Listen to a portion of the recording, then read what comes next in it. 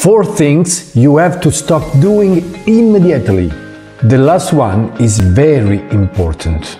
Save this video for the future reference. Number one, stop regretting the past. Release the grip of past regrets, as they can't be changed. Embrace the lesson learned and step into a brighter future. Number two, stop worrying about the future.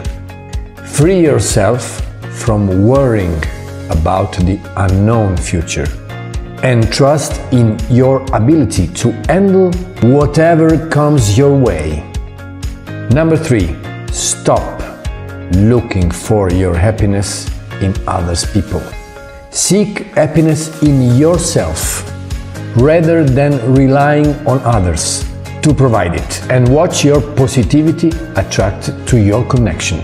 Number four, stop underestimating your inner strength. Believe in your abilities, embrace your resilience. Every setback is an opportunity to grow, learn, and become even more magnificent. Embrace challenges with determination and courage, knowing that they are stepping stones to the life that you desire. Drop a hundred if you read this far. This show you are a part of the 0.01% who actually finish what they start.